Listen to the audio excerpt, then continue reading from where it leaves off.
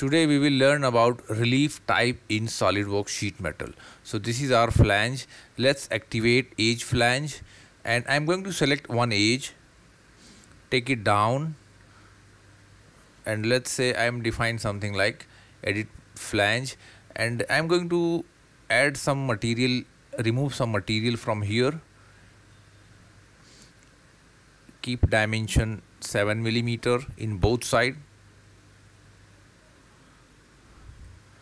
okay go back. Now here come down and here you will see custom relief type. It means the the basic value already defined in system. I'll tell you where we can globally change but for time being let's say custom relief type. Here we have three types oblong rectangle tear rectangle is by default use relief ratio. Here one ratio means ratio is belongs to thickness. If one ratio means that cutout thickness this horizontal or vertical length would be equal to thickness. If I say yes look if I'm going to select evaluate measure and select this edge and you will see 2 millimeter clear and select this one 2 millimeter. Again edit. Come down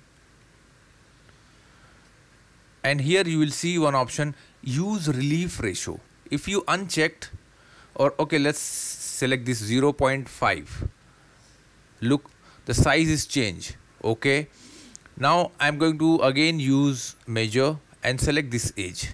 And see this is 0.5 ratio means half of the thickness. So this is become 1 millimeter okay? Edit feature use relief ratio. Now in this case you can define both the values. Let's say this one 3 millimeter and this one 2 millimeter. Say OK. Now let's check measure these length C going to be 3 millimeter and these length going to be 2 millimeter. So edit now see here how we define. Similarly, you can activate oblong, use custom relief. Here say 2 millimeter. Uh, ratio is 2. Okay. Now thickness is 2 millimeter means this diameter should be 4 millimeter and this also 4 millimeter. Look. If I am going to measure select this radius you will see radius 2 means diameter 4 millimeter clear and select this edge. See this is going to be 4 millimeter because of ratio is 2 edit. Now again come down and uh, relief ratio and everything you can control it like a rectangle. So same thing you can control it diameter and uh, the vertical length everything you can same. Third one is tear in tear we have two options. One is uh, rip and second one is extend. Select rip and see there is no relief cut. Again edit. If you choose extend see this is going to extend up to this end. Say okay. Look.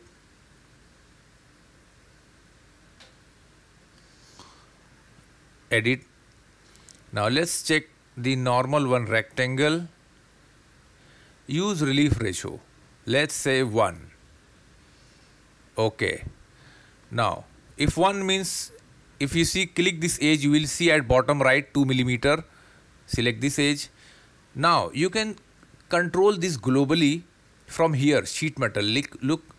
If you drop down here only one part. If there is a more than one part it will be visible here but here only one part. So right click on this sheet edit now from here you can see auto relief. Globally you can edit. Now see here written rectangle. Let's me choose 2 rectangle ratio say okay. But still not change because we already applied here custom release. If you uncheck say okay.